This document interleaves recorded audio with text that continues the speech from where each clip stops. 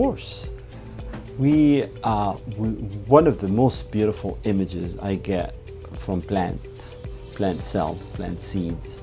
Um, a very good example of that is um, one case we had uh, where the doctor took sent us a sample thinking that this was a polyp in the in the colon.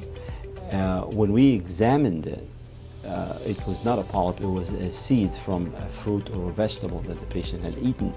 And it was implanted and looked clinically like a polyp.